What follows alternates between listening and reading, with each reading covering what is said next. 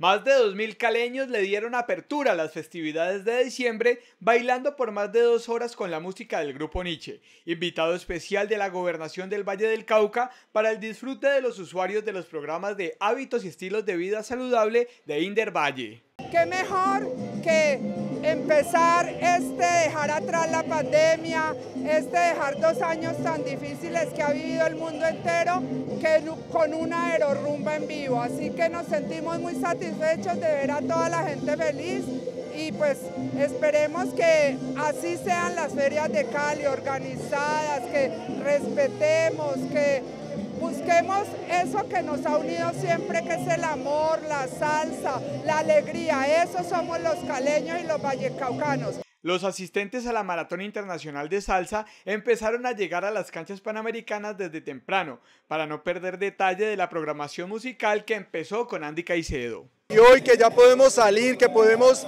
beneficiar a nuestros usuarios en vivo y en directo, quisimos hacer esta maratón de salsa en vivo con el grupo Nietzsche. Muy contentos con todo este evento.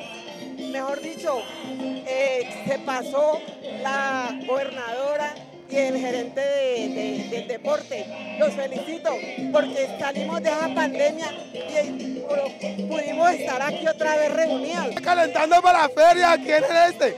Está todo rico, sabroso con el grupo Nietzsche, melo, melo. A través de Enforma sin salir de casa, Indervalle mantuvo el incentivo por los hábitos de estilo de vida saludable durante los años de pandemia a través del canal regional Telepacífico, programas que llegan a unos 28 mil usuarios y congregan a cerca de 400 grupos de adultos mayores de Cali y el Valle del Cauca.